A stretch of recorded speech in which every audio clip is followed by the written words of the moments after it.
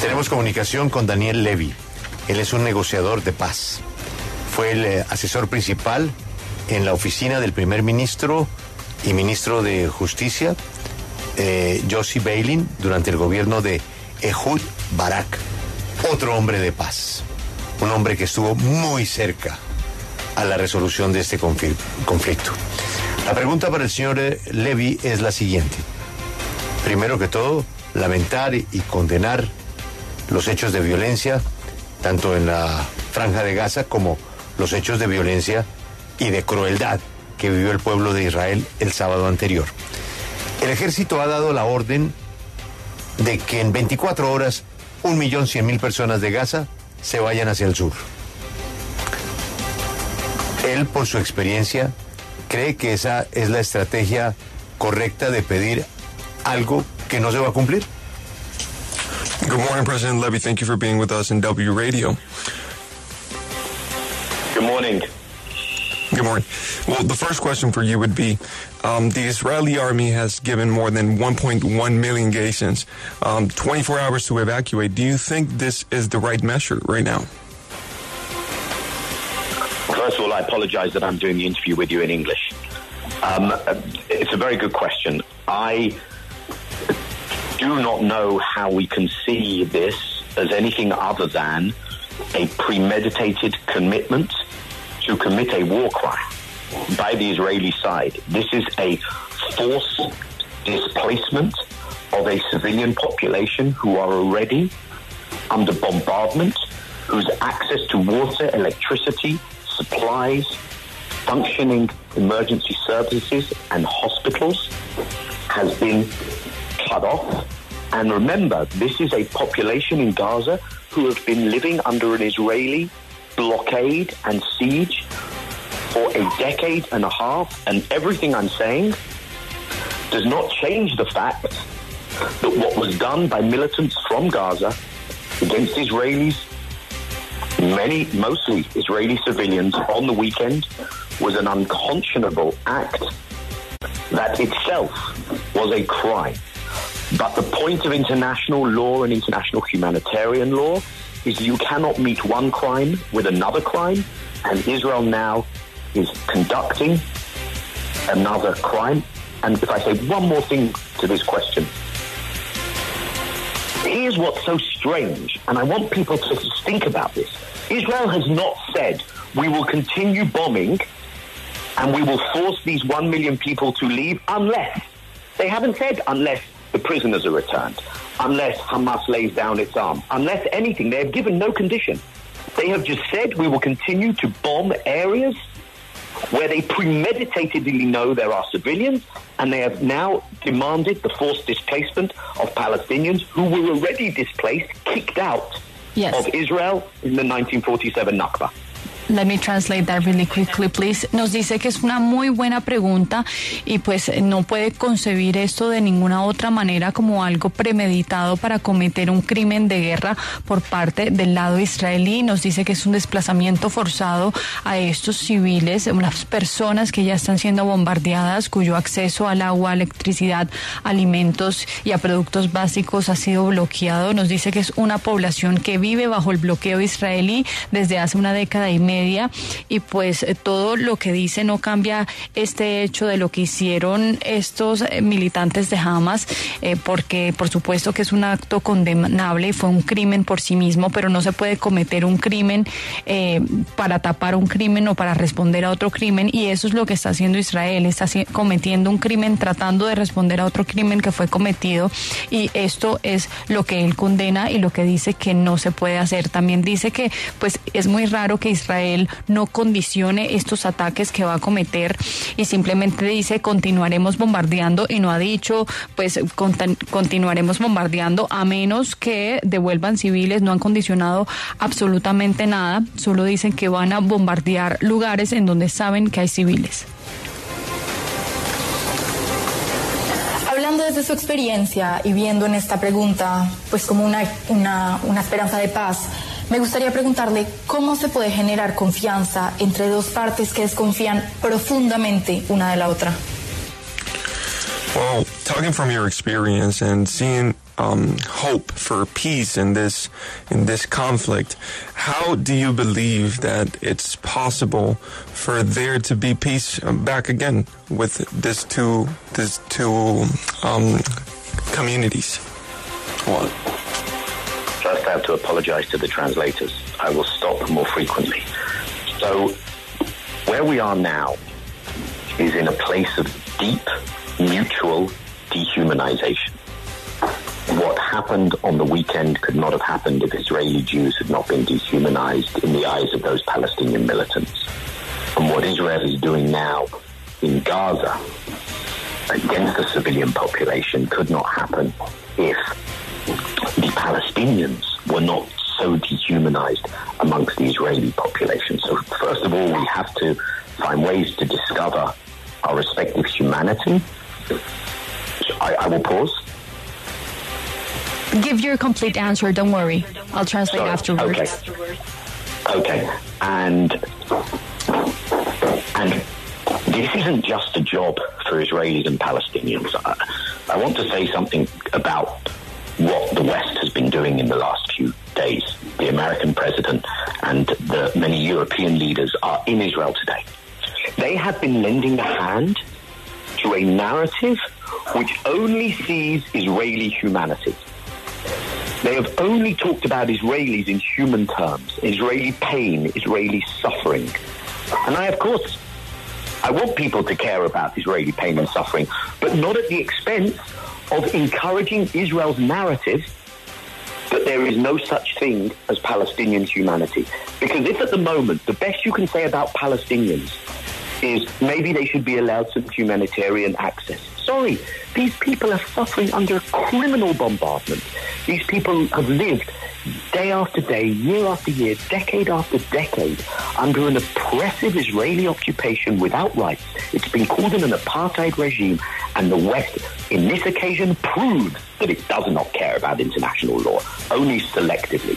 But the whole combination of things means that we are in incredibly dangerous territory because people are talking an exterminationist language, and Israel is saying that either we have to do everything to the Palestinians, no holds barred, or we're in the terrain of a second Holocaust. And this is this is a, a, wrong choice, a false choice. Israel is a powerful country. Israel made a strategic error. No deterrence, its intelligence. There was a terrible attack. But this is this is people. Please think. This is not a second Holocaust. What is happening is that millions of Palestinians are paying, who are innocent, are paying the price, and we have to put a stop to it now.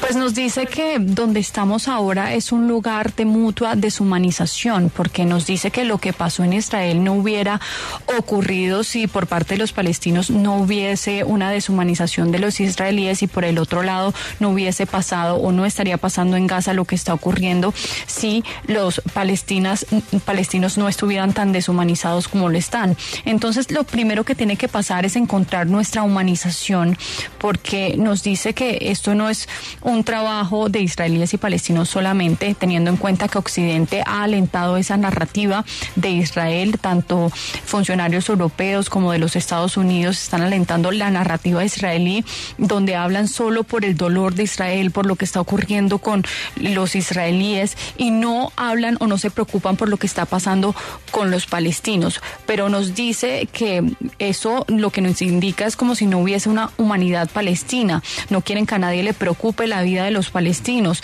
Ellos están sufriendo por los bombardeos que se están llevando a cabo por parte de Israel. Hay una ocupación absolutamente opresiva. Estas personas no tienen derechos y a Occidente no le importa la ley internacional, sino solo de manera selectiva. Entonces, para él estamos entrando a un territorio absolutamente peligroso de exterminación. Nos dice que Israel dice que hay que hacer todo en contra de Palestina, eh, o si no hay un segundo holocausto, y eso es equivocado porque pues Israel es un país absolutamente poderoso y no estamos en un segundo holocausto. Lo que está pasando es que miles de palestinos inocentes están pagando el precio de lo que acá está ocurriendo. Señor Levy, ¿cómo valora el papel de la comunidad internacional ante los bombardeos, esa respuesta militar y el bloqueo total de los suministros para toda la población en Gaza? Mr. Levy, how do you value that role of the international community, um, given all the the bombings that have happened? I'm afraid we needed some adults in the room to help Israelis and Palestinians step back from the abyss. And instead of fire extinguishers, the Americans and the Europeans have come with flamethrowers to make things even worse. I hope they see some way to change their position. I hope perhaps other more sensible voices perhaps in Europe, perhaps in the so-called global south, perhaps elsewhere in the international community, will come forward with an initiative because this is yet another example that the global order does not serve global peace and justice. I'm afraid that the West is warmongering, and I hate to say it. We need other voices to stop this. And I was asked about how do we now make peace. I'm afraid the first thing we have to do is end what is happening now. Then we have to rehumanize, and then we have to go back to the root causes, addressing Palestinian rights and freedom and security, addressing, of course, also Israeli security, because Israelis won't live in security until Palestinians live in security. But right now, we don't know where we'll be in a week or two weeks. So first is to stop the killing.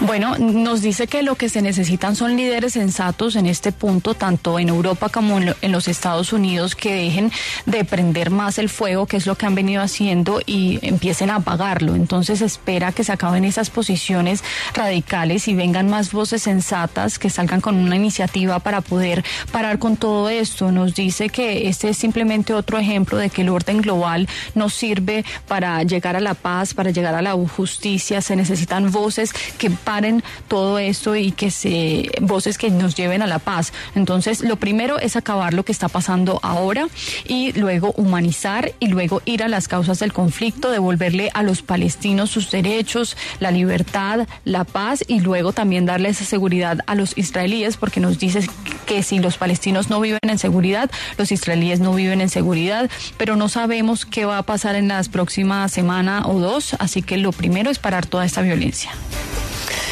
Para nuestro invitado, el cual cree que ha sido el detonante, ¿por qué precisamente ahora, en este momento, jamás ha atacado con tantísima violencia a Israel? For you, what do you think um, was the cause? What could have been the trigger for why Hamas has attacked Israel?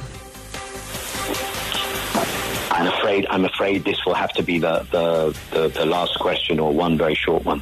Um, so there are many things to answer that question. I, I think uh, Hamas has been pointing out that uh, the situation could not continue where Palestinians in Gaza are kept in these conditions. There have been the specific provocations of the current Israeli government, which is a very extreme government by any standards. The heads of former heads of Israeli security agencies have talked about an apartheid regime uh, that currently prevails, uh, whether it's the provocations in the settlements in the West Bank, whether it's in Jerusalem on the holy sites. I think Hamas also saw that in Palestinian politics, the governing authority in the West Bank was weak because Israel had made sure that through diplomacy and negotiations and non-violence, Palestinians got nothing. The situation only got worse. So if you take all these factors together, then add in the regional elements, the, the talk of Saudi normalization with Israel, we have lots of causes, none of which justifies what happened and the horrific scenes. And probably Hamas did not expect to be able to infiltrate Israel to the extent it did because I think Israel showed hubris and complacency towards the Palestinians, which made it ultimately fail in a very major way. Mr. Levy, thank you very much for your time. Very Thank you so interesting conversation. Thank you. Good morning. Good afternoon for you. Pues este invitado fue negociador de paz, repito, un negociador que estuvo muy cerca del éxito en tiempos de Ehud Barak.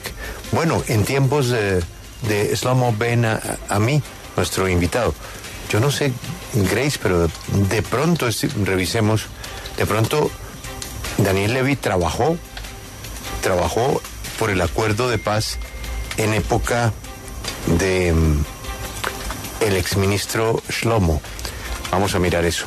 ¿Qué dijo al final Daniel Levy? Pues dice que hay muchos elementos que llevaron a Hamas a atacar a Israel de esta manera tan fuerte. Eh, básicamente es que la situación en Gaza no podía continuar de esa manera, en esas condiciones. La población civil estaba viviendo en condiciones bastante pobres. Entonces también vienen unas provocaciones por parte del gobierno israelí que han hecho estallar a Hamas, unas provocaciones en Cisjordania, en Jerusalén, unas negociaciones que no le daban absolutamente nada a los palestinos, simplemente ponía la situación mucho peor y cree que por eso Hamas atacó de esta manera tan severa a a Israel y nos dice que pues es una situación regional que también ha llevado a esta a este estallido de la situación así que son muchos elementos que han llevado a lo que estamos viviendo ahora mismo.